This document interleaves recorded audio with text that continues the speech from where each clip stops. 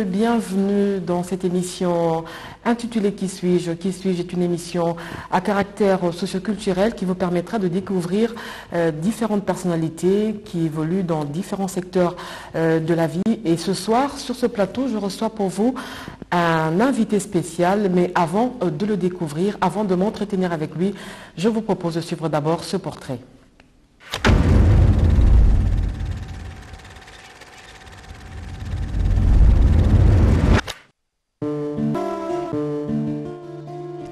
Candidat à la dernière élection présidentielle de décembre 2018 qui a vu Félix Tshisekedi s'adjuger la magistrature suprême, Noël Tiani Vita est devenu aux allures imposantes et né en Gandajika dans le territoire de l'Omami où il va suivre son cursus scolaire.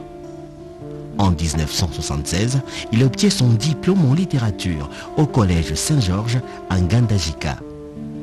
Ce fonctionnaire international de la Banque mondiale est détenteur d'un doctorat en sciences économiques, options, banque et finances à l'Université Paris 9, Dauphine. Pendant toute sa vie, Noël Tiani est reconnu pour avoir contribué au développement et à la croissance économique de plusieurs pays, tant en Afrique, en Europe de l'Est que dans les Caraïbes. Fervent catholique, cet expert monétaire va en 1997 co-présider à Kinshasa la commission des réformes monétaires qui avait connu le franc congolais en remplacement du Zaïre monnaie. Acteur politique, Noël Tiani Moyenvita est très souvent critiqué pour sa position d'indépendant. Il va en 2016 créer un regroupement politique dénommé Force du Changement. Dont la vision principale pour le Congo se résume dans le plan Marshall pour la reconstruction de la RDC. Pendant toute sa vie, il a travaillé comme banquier commercial, banquier d'investissement et de développement à New York et dans plus de 82 pays. Qui suis-je? Le reçoit aujourd'hui à bras ouverts. Anita Loambois, vous avez la parole.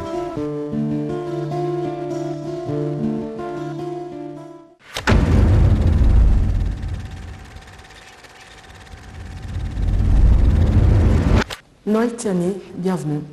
Merci de me recevoir ici.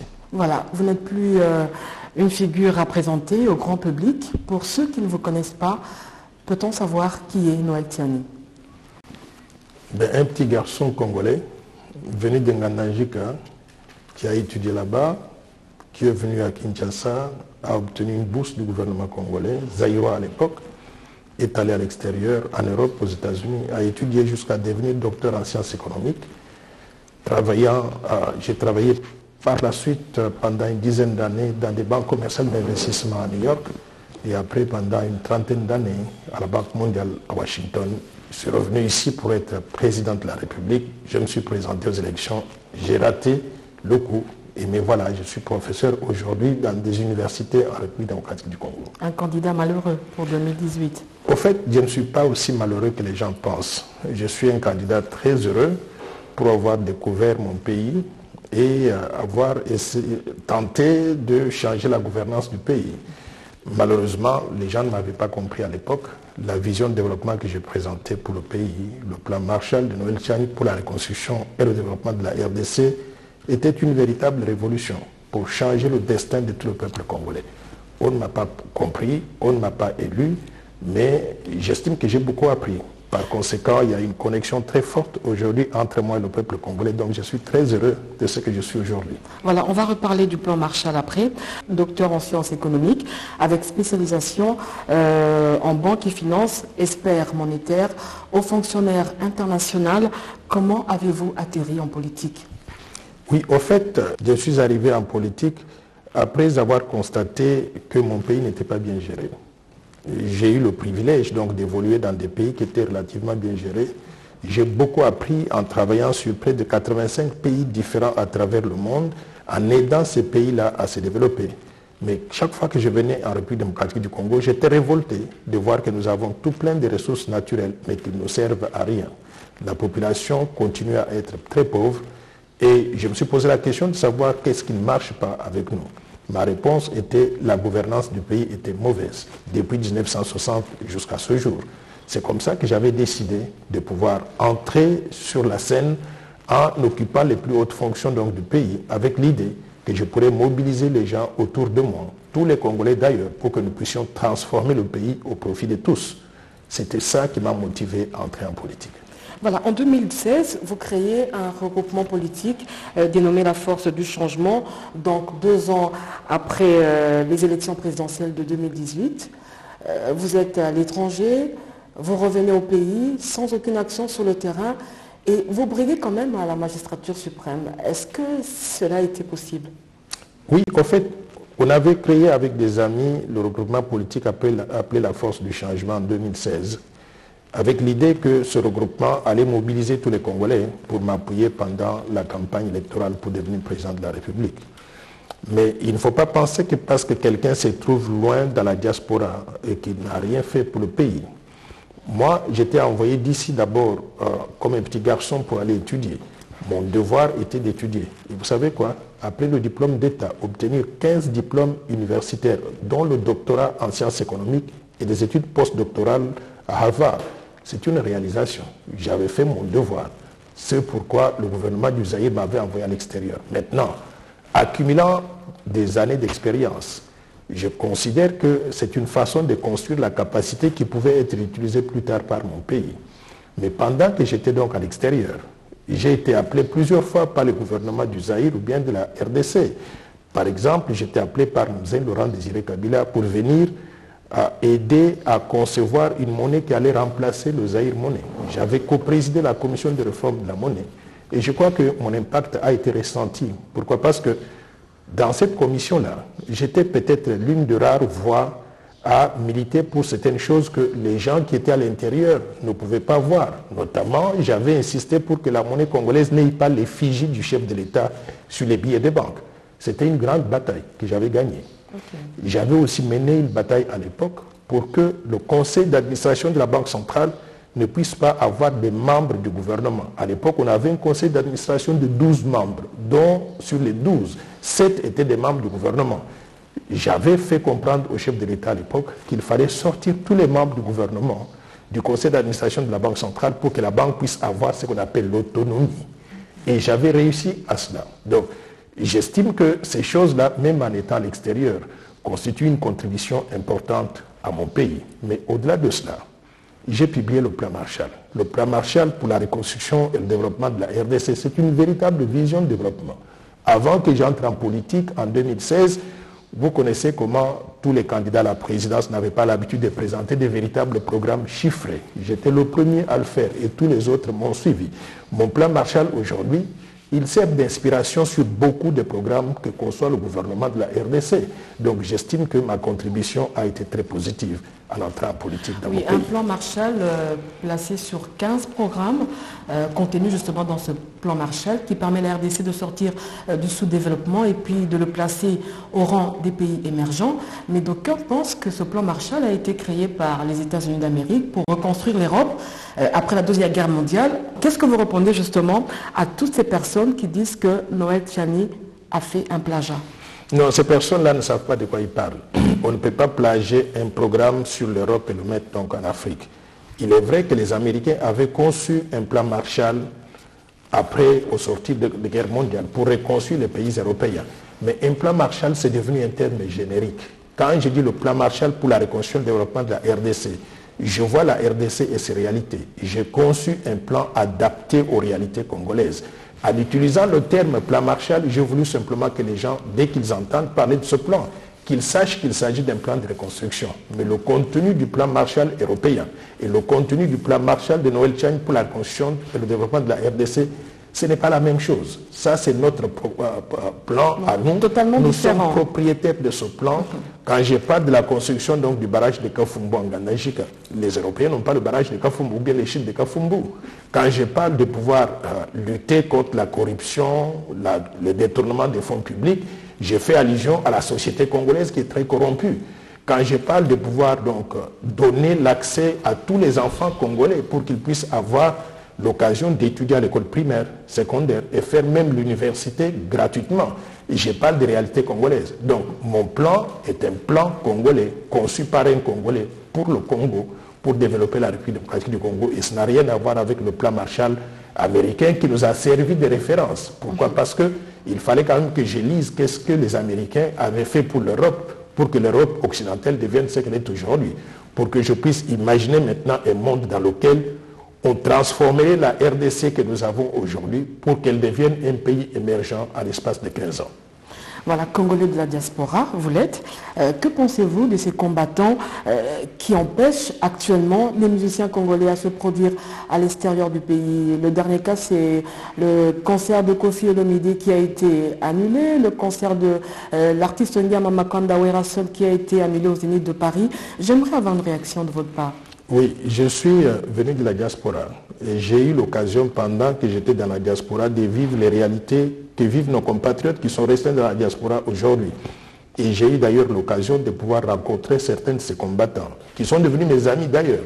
Boké Premier, que je salue, commandant Esso, le, euh, et tant d'autres, il y a même les Rex Kazari, tout ce monde, je les ai côtoyés, je les ai connus et je les considère comme étant mes frères et mes amis d'ailleurs. Quand j'arrive en Europe, Bokecho Premier et euh, ses copains, commandant et Mouké, ils viennent me voir et nous parlons, nous prenons donc un café ensemble comme des compatriotes. Donc je comprends le sens de leur combat. Maintenant, je suis aussi ami avec Kofi Olomide, avec Noël Lorenson et puis avec d'autres musiciens ici. Je sais concilier les deux mondes. Je comprends la frustration qu'il y a eu dans les milieux des combattants. Mais j'estime que le temps est passé. Il faudrait qu'on arrive à trouver la paix entre nous Congolais entre ces combattants et aussi avec les musiciens. Nous devons réconcilier donc les combattants avec le gouvernement de la RDC parce que nous ne pouvons pas nous développer si nous continuons à être un pays qui, chaque fois que quelqu'un soulève une idée, les autres commencent à tirer dessus. Donc, j'invite Bokecho Premier et les autres combattants à pouvoir se mettre à la table de discussion avec les musiciens congolais pour qu'on trouve un modus vivendi qu'on mette nos divergences derrière nous et que nous puissions désormais commencer à travailler pour la reconstruction du pays. Je voudrais signaler une chose. Si Kofi Olomide va jouer en Europe, il gagne beaucoup d'argent là-bas. Et vous savez quoi? Il donne du travail aux Congolais. Des Congolais qui sont en Europe, mais des Congolais qui vivent ici. Il gagne l'argent pour investir dans les activités sociales au pays. l'assistance aux orphelins, l'assistance aux pauvres, ainsi de suite. Donc en empêchant qu'il puisse jouer, lui et les autres musiciens congolais, on fait du mal non pas simplement à Kofi Olomide, on fait du mal aussi à ces autres Congolais qui auraient pu bénéficier de cela. Donc, tout en comprenant la raison pour laquelle les combattants se battent, je voudrais que nous puissions maintenant nous mettre autour de la table de discussion pour trouver un compromis afin qu'on mette les divergences derrière nous et que nous puissions commencer tous à travailler pour la RDC et pour le peuple congolais. Expert monétaire euh, à la Banque mondiale, docteur en sciences économie. Noël Tiani, vous savez que euh, l'économie euh, de la RDC est très dépendante euh, du secteur minier, soumise des fois aux cours internationaux. Est-ce que les perspectives de croissance économique de 2020 et 2021 pourront être florissantes pour la République démocratique du Congo? Oui, je sais que nous sommes une économie très dépendante de ce qui se passe sur le plan international. Et vous avez vu qu'à cause de la pandémie de Covid-19, tout était au ralenti dans les pays occidentaux, en Chine, aux États-Unis, dans l'Union européenne. Et ce, ralentissement à l'extérieur entraînait aussi donc la baisse d'activité économique dans, notre pays, étant donné que nous exportons vers ces pays-là des matières premières et nous importons quoi? Les biens de consommation, les biens d'équipement. Aujourd'hui que la pandémie semble être maîtrisée en Chine, dans l'Union européenne, aux États-Unis, il y a ce que je peux appeler la reprise économique la reprise de la demande globale. Cette demande globale a un effet positif sur notre économie dans la mesure où nous pouvons vendre maintenant plus de nos matières premières que pendant la période de la pandémie. Donc, si avec le, relèvement des prix des matières premières sur les marchés internationaux, je vois que l'économie congolaise peut espérer en profiter pendant les 2, 3, 4 prochaines années, étant donné qu'il y a cette demande de l'autre côté qui alimente en quelque sorte donc la reprise à l'intérieur de la RDC. Voilà, le président de la République, euh, en avril 2019, renoue le dialogue avec euh, le FMI, une première depuis 2014, euh, je pense. la conduite d'un programme de référence a marqué la normalisation des relations après plusieurs années d'absence. Un commentaire. ben, Il faut saluer ces efforts-là et je considère qu'en tant que pays, République démocratique du Congo, nous devons avoir notre propre vision de développement avant de pouvoir attendre quoi que ce soit de l'assistance avec les bailleurs de fonds multilatéraux et bilatéraux. Mais cela ne veut pas dire que le Congo doit évoluer donc en vase clos. Nous devons normaliser, nous devions normaliser des relations avec la communauté financière internationale. C'est ce qui a été fait. Je salue ces efforts-là. Mais je voudrais mettre maintenant l'accent sur la nécessité pour nous, Congolais, d'avoir notre propre vision de développement et de l'exécuter à la perfection. Parce que parfois les intérêts sont divergents entre nous et ces bailleurs de fonds. Ils veulent nous aider, mais parfois pour nous contrôler et nous orienter dans le sens qu'eux ils souhaitent. Si nous avons notre propre vision de développement, nous pouvons déterminer avec quels partenaires on fait affaire et où est-ce qu'on peut faire intervenir ces partenaires-là pour aider à ce que cette vision soit exécutée comme nous voulons. Oui, le FMI, justement, on en parle encore, euh, vient d'approuver euh, un programme de trois ans avec la République démocratique du Congo, appuyé par la facilité élargie des crédits, alors que le pays n'avait pas connu de programme euh, pendant plusieurs années. Est-ce que c'est, est-ce qu'il y a un intérêt particulier de cette institution financière? Bon, l'intérêt doit être d'aider le gouvernement à faire mieux, le Congo à faire mieux. Mais vous savez, on ne peut pas aider quelqu'un qui ne veut pas faire mieux pour lui-même. Nous devons être responsables de ce que nous voulons. C'est ça que j'ai toujours dit. Nous devons avoir notre propre vision de développement. Et si le FMI vient pour nous aider, qu'on ait peut-être l'occasion de les écouter. Mais à la fin de la journée, nous devons rester maîtres de notre destin en orientant nos ressources là où nous estimons nous pourrons avoir une meilleure rentabilité pour notre population. Vous, vous pensez que l'RDC n'a pas de vision propre? Non, je n'ai pas dit ça. J'ai dit simplement que nous devons avoir notre propre vision. Quand je parle de la RDC, je ne parle pas de la RDC aujourd'hui simplement. Je parle de la RDC depuis 1960. Nous avons eu des visions de développement qui évoluent en dents Donc nous devons être très clairs dans ce que nous voulons réaliser. Moi, je vous ai proposé le plan Marshall de Noël Chang pour la reconstruction et développement de la RDC. C'est une vision claire de développement. C'est-à-dire, nous sommes sous-développés aujourd'hui, où est-ce que nous voulons être dans 15 ans? Et pour y arriver, nous devons investir donc dans la reconstruction de l'État pour qu'on ait un véritable État, une administration publique qui fonctionne. Nous devons investir dans la gouvernance, combattre les antivaleurs, la corruption, le détournement des fonds publics, la prédation des ressources naturelles pour que toutes les ressources de l'État aillent dans les caisses de l'État. Je salue le rôle que joue aujourd'hui donc euh, l'IGF pour arriver donc à mm. tenir tout le monde sur ses pieds. Au-delà de cela, nous devons investir donc dans les ressources humaines. Parce qu'aucun pays ne peut se développer si on n'a pas le capital humain de qualité. Pour cela, nous devons investir massivement dans l'éducation primaire, secondaire, universitaire.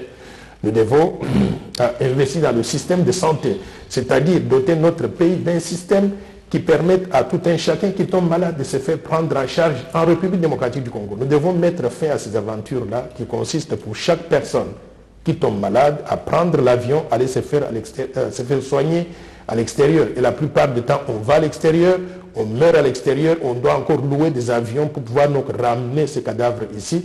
Ça nous coûte extrêmement cher. Développer des hôpitaux euh, à l'intérieur du Congo pour que tout le monde, tous les Congolais, que ce soit des riches, des pauvres, des officiels, des non-officiels, puissent se faire prendre en charge dans ces hôpitaux-là sur l'ensemble du territoire national, comme cela existe dans d'autres pays comme en Afrique du Sud. Au-delà de cela, mettons en place un système d'assurance maladie universelle qui permettent à tout le monde de se faire prendre en charge. Moi, je suis fatigué de constater qu'il y a parfois des gens qui meurent pour manque de 10 dollars pour acheter de, médicaments contre la malaria.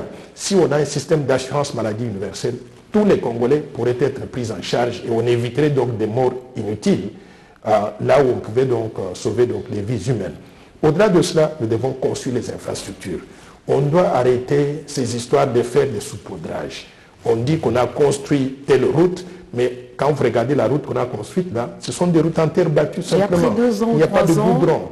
Deux ans, trois ans après, donc c'est parti. On recommence à zéro. Il y a des coins de la République où on ne peut même pas arriver. Pourquoi? Parce que par manque de route. Ayons un plan directeur. Un plan comme dans le cas du plan Marshall, où on a tracé toutes les routes de la République et on les exécute progressivement au fur et à mesure que nous mobilisons des ressources pour arriver à, le faire. Mais quand je parle des routes, que ce soit des routes de qualité, des autoroutes de qualité, des aéroports modernes, des ports modernes, c'est ça moderniser les infrastructures donc des bases dans notre pays. Au-delà de cela, diversifions l'économie. Nous avons depuis 1960 la même économie qui fonctionne comme avant l'indépendance.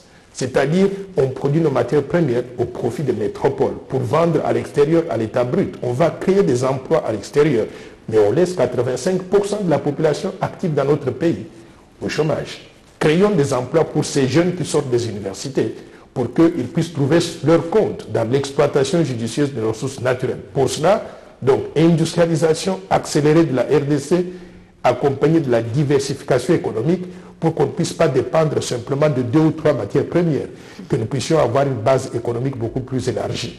Si nous faisons ces choses-là, euh, je voudrais aussi mettre l'accent sur le développement de l'autosuffisance alimentaire, l'agriculture, l'élevage et la pêche. Mhm.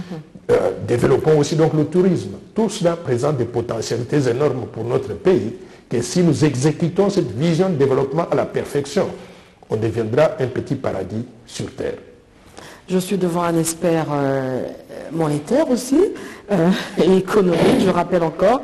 Est-ce que la politique monétaire euh, doit être utilisée uniquement pour maintenir la stabilité des prix ou bien favoriser la croissance et le plein emploi? Vous savez, la politique monétaire, ce n'est qu'un volet dans les politiques économiques qui peuvent être mises en œuvre par le gouvernement. Je voudrais ici, pour, pour parler comme les économistes, mhm. nous avons ce qu'on appelle donc le carré magique de, de Caldor c'est-à-dire, la politique monétaire cherche à réaliser la stabilité des prix, mais il y a d'autres objectifs économiques que pourrait chercher à réaliser le pays. Le plein emploi, en créant des emplois pour des gens, en créant des conditions pour que les entreprises puissent naître, recruter des personnes. Il y a aussi l'équilibre extérieur. L'équilibre extérieur, ça veut dire nous devons non seulement réaliser une balance de commercial qui est excédentaire, en exportant plus à l'extérieur, en important moins, et en produisant donc localement. Donc pour cela, on crée des richesses. Si on arrive donc à exporter plus, à importer moins. Mais de l'autre côté aussi, il y a la question de la croissance. Nous avons une économie qui doit croître à un certain rythme. Donc les objectifs euh, poursuivis par le gouvernement dans le domaine économique doivent se tourner autour de ce carré magique donc des Caldor. Stabilité des prix, emploi, équilibre extérieur, mais également croissance. Si nous faisons ces choses-là en tant qu'un pays qui a une vision, je pense que nous pourrons nous améliorer progressivement pour créer des emplois et créer de meilleures conditions de vie pour nos populations. Président national du regroupement euh, politique La Force du Changement, euh, que vous dirigez depuis 2016, euh, quelle est votre vision politique, Noël Tiani? Ma vision politique, c'est de réunir tout le peuple congolais pour qu'on puisse se développer. La blague a assez duré. Nous avons un pays qui a tout plein de ressources naturelles, mais où nous continuons à avoir des gens qui meurent de faim. Donc, quand nous faisons des choses, ayons, situons ces choses-là dans le cadre d'une vision, qu'est-ce que nous voulons réaliser donc pour notre pays? Moi, je veux que les Congolais trouvent du salut dans l'exploitation judicieuse de leurs ressources naturelles. Pour cela, on doit mettre l'homme qu'il faut à la place qu'il faut. Nous devons combattre certaines antivaleurs qui, qui nous minent au sol, qui nous clouent au sol aujourd'hui, notamment le tribalisme. Quelle est la différence entre moi qui suis originaire de la Lomami, de la et quelqu'un qui est originaire du Bandundu ou du Bakongo? Il n'y a aucune différence. Nous sommes tous congolais. Je tiens à ce que nous puissions réunir toutes les ressources humaines du Congo, regarder tous dans la même direction réconcilier les Congolais entre eux-mêmes à l'intérieur du Congo, réconcilier les Congolais de l'intérieur avec les Congolais de la diaspora, pour qu'on utilise cette, ce pool de ressources humaines maintenant comme étant le carburant qui va alimenter le moteur pour faire marcher la RDC vers le meilleur destin. Et qu'est-ce que vous n'aimez pas en politique? Qu'est-ce que? Vous n'aimez pas en politique, Noël Tiani C'est que les politiciens congolais ne sont pas fiables. Tu parles avec eux aujourd'hui, ils vous disent une chose le matin et la nuit, ils font le contraire. Et ils font comme s'ils n'ont jamais commis ce péché-là. Donc, je considère que le manque de constance dans notre politique, dans notre système politique, c'est un, un, fléau qu'il faut combattre. Je n'aime pas le fait qu'il y ait plusieurs partis politiques. Nous avons près de 800 partis politiques différents. Je ne connais pas la différence entre ces partis politiques. Je souhaiterais que nous puissions nous faire violence, restructurer donc la vie politique pour avoir deux ou trois grands partis politiques qui pourraient euh, présenter des alternatives de gouvernance donc, au peuple congolais pour que pendant les élections, on puisse choisir entre ces alternatives-là. Mais avoir 800 partis politiques, je crois que c'est une perte de temps, perte d'énergie, perte de ressources. Je souhaiterais que nous puissions redéfinir le rôle de l'État dans notre pays. Nous avons adopté certaines doctrines extérieures qui consiste à dire non, l'État doit s'occuper simplement du secteur privé. Non, nous sommes dans un pays où il y a beaucoup de pauvreté. Il faut qu'on ait un État libéral, mais aussi un État interventionniste.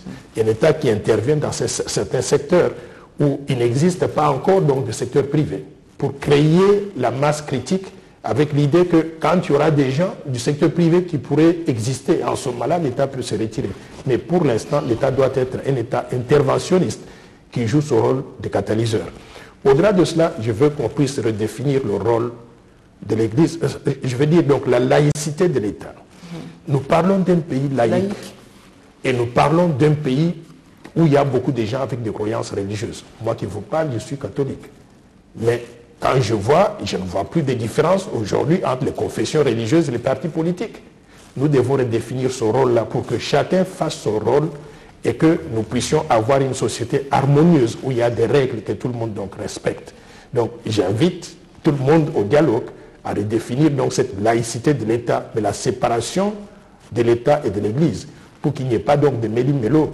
J'étais très alarmé quand j'ai lu hier Jeune Afrique, où j'ai vu que le cardinal Ambonko, que je salue au passage, où il dit qu'il ne se sent plus en sécurité à Kinshasa. Mais s'il n'est plus en sécurité à Kinshasa, il va se sentir en sécurité où? À l'extérieur du pays ou bien à l'intérieur dans des provinces? Je veux qu'on puisse laisser le cardinal tranquille, qu'on puisse lui garantir donc cette protection-là, lui assurer la sécurité pour que, quelles que soient les divergences de points de vue sur tel ou tel aspect, qu'on ne puisse pas s'en prendre à lui en tant qu'individu, qu'on ne puisse pas s'en... C'est un pasteur qui prêche la bonne nouvelle. Chacun de nous peut être parfait, peut faire des erreurs, ainsi de suite. Mais aller jusqu'à menacer sa sécurité, je pense que ce n'est pas du tout congolais. Voilà, vous êtes euh, un acteur politique. L'actualité euh, oblige. Le président de la République vient de nommer le nouveau bureau de la Commission électorale nationale et indépendante euh, avec Denis Kadima comme président.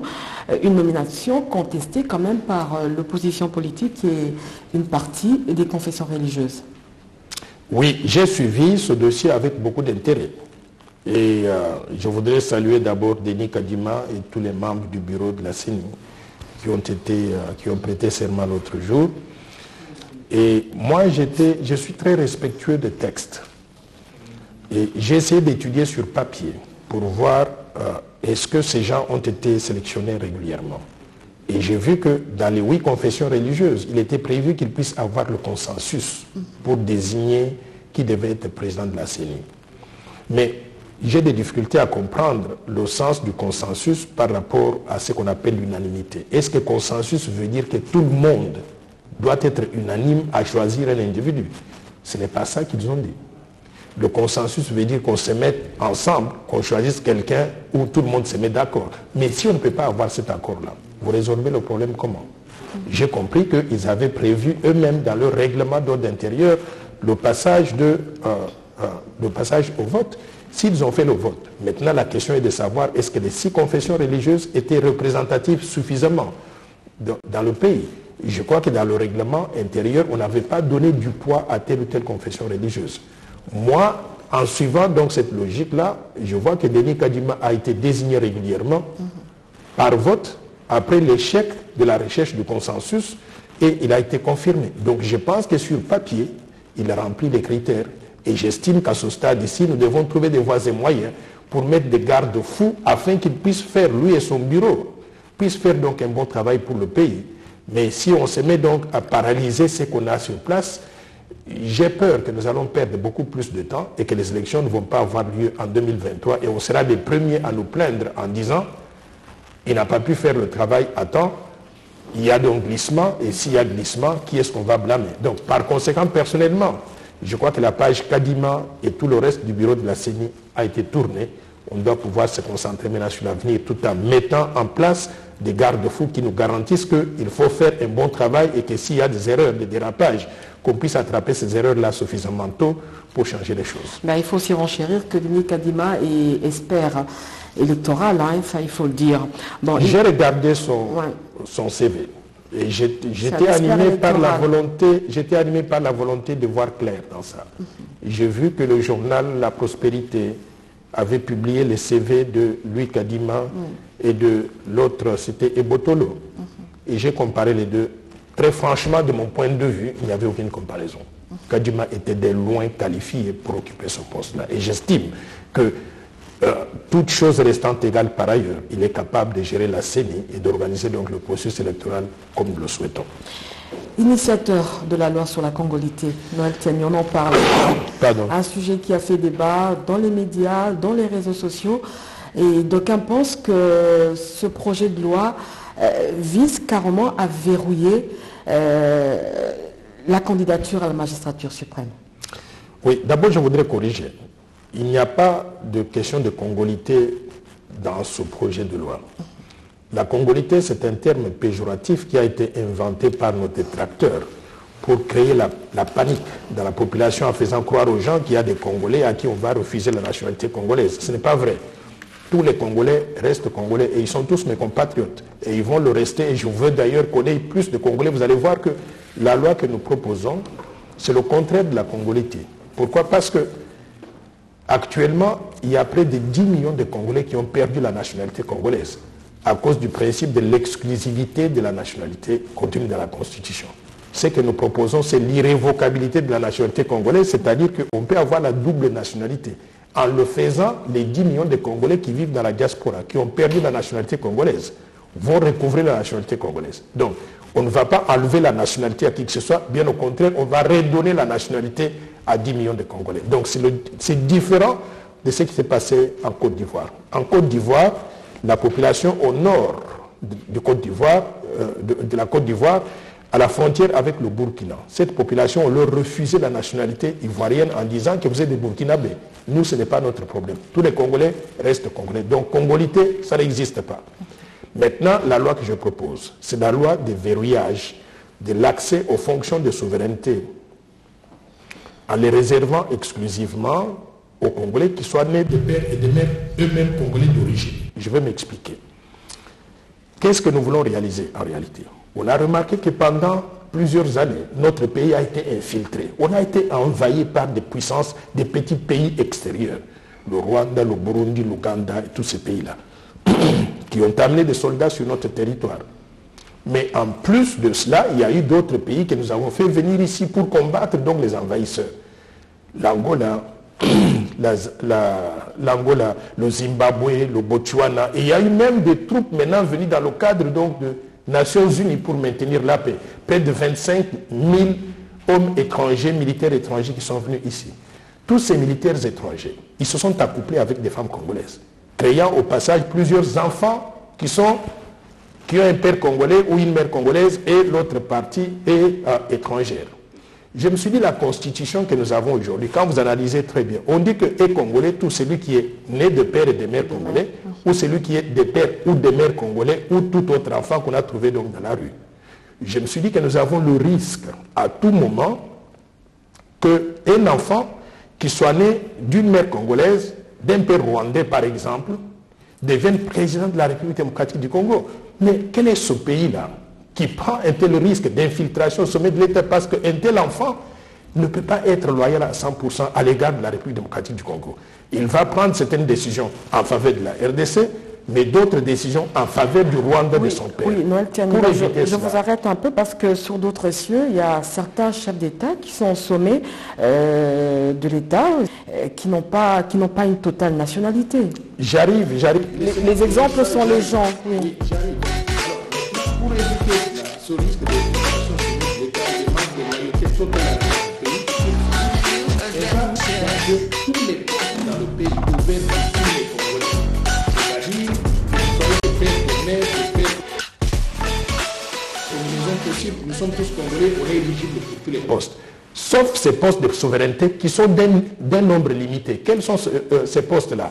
Président de la République, président du Sénat, président de l'Assemblée nationale, directeur général de migration, l'agence de migration, directeur de l'ANER, administrateur de l'ANER, le Premier ministre, les ministres régaliens, c'est-à-dire euh, défense, intérieur, affaires étrangères, défense et justice, et les hauts magistrats de la République, et aussi le haut commandement militaire et le haut commandement du commissariat général de la police. Il y a quelques postes donc dans ce truc-là. Ces postes-là seraient réservés exclusivement aux Congolais nés de père et de mère. Pour simplement s'assurer de la protection de la souveraineté nationale, d'éviter le risque d'infiltration au sommet de l'État des gens qui ne seraient pas 100% loyaux à la République démocratique du Congo. C'est tout. Donc une trentaine de postes. On laisse 100 millions de postes disponibles à tous les Congolais. Ce n'est pas la discrimination. Et je voudrais attirer l'attention de ceux qui disent que les États-Unis d'Amérique ont connu par exemple un chef d'État qui s'appelle Barack Obama. Mais Barack Obama, il est américain à part entière, au même titre que John F. Kennedy, au même titre que Bill Clinton, au même titre que Ronald Reagan. Pourquoi? Parce que la constitution américaine, dans un pays qui est constitué d'immigrés venus donc de l'extérieur, la constitution américaine donc dit que pour être américain à part entière, il faut être né sur le sol américain. C'est ce que Barack Obama. Mais vous savez qu'il y a des Congolais qui ne sont pas loyaux. Par exemple, si nous prenons la guerre à l'est du pays, euh, le président de l'Assemblée nationale l'a dit, il y a des Congolais qui tirent les ficelles de l'autre côté. Donc ils ne sont pas loyaux. Je suis d'accord avec vous qu'il y a des Congolais qui peuvent être des pères et des mères qui ne seraient pas loyaux 100% à l'égard du Congo. Nous devons identifier ces gens-là et les mettre. C'est pour cela qu'il y a ce qu'on appelle donc des études préalables à toute nomination à un poste quelconque. Si on détecte que dans votre historique, dans votre vie, vous n'avez pas été loyal à l'égard de la RDC, on vous met ailleurs. On cherche les meilleurs parmi les meilleurs. Une fois qu'on a sélectionné les 100% congolais qui sont des pères et des mères congolais, Parmi eux, là, on va chercher ceux qui peuvent être 100% loyaux et c'est à nous de faire ce travail-là. On appelle ça la due diligence avant de nommer quelqu'un à un poste quelconque. Voilà, ce projet de loi a créé euh, division au sein de la classe politique, même à l'Assemblée nationale. Euh, on a trouvé inopportun de le faire passer pour l'instant. C'est faux. Pourquoi la vous, loi, vous la loi abstinez, n'a Noël pas été... vous vous abstinez à faire passer cette loi au Je, ne m'obstine pas, mais j'insiste parce que je vois le danger pour mon pays et je veux protéger mon pays. Peu importe si tous les autres me rejettent et disent qu'ils ne veulent pas s'associer avec moi, moi je vais aller jusqu'au bout. Je voudrais vous dire une chose, c'est que l'Assemblée nationale n'a pas rejeté le projet de loi. C'est faux. Ce sont des détracteurs qui ont tenté de corrompre les gens dans le bureau d'études pour propager des, vo- des mo- des- Non, des ils ont dit que ce n'était pas, pas opportun. La loi n'a pas, pas, pas été rejetée, mais n'a pas été dire- repris, je euh, je crois, à la plénière. Je vais vous dire ceci. Il y a tout un processus de processing, comme on dit en anglais, de traitement des lois, de proposition de loi.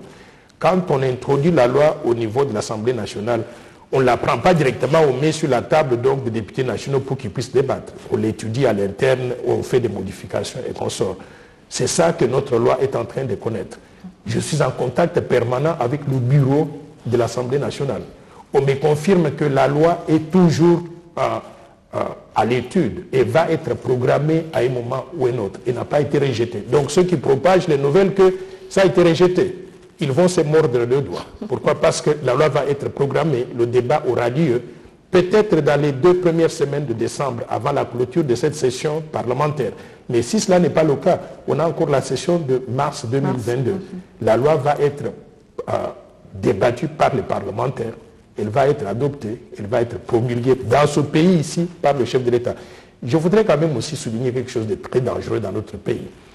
Il y a des gens qui disent qu'ils sont démocrates. Mais vous dites que vous êtes démocrate et vous ne voulez pas qu'il y ait des débats sur des questions qui touchent à la souveraineté du pays. Vous voulez menacer des gens en disant si vous faites ça, vous franchissez la ligne rouge. Ce ne sont pas des démocrates, ce sont dangereux pour notre pays. J'invite tout le monde à calmer, à garder le calme.